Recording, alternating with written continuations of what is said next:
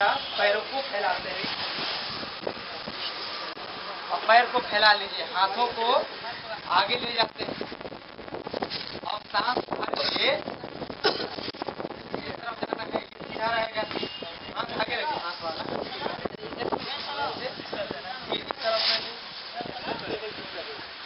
इस बैठ जाना इस तरफ़। अब बैठ जाए एक बार एक बार देखना चाहते हैं, बैठे अपनी दाहिनी तरफ़। अब यहाँ से ना सीधे उठना है ऐसे। इस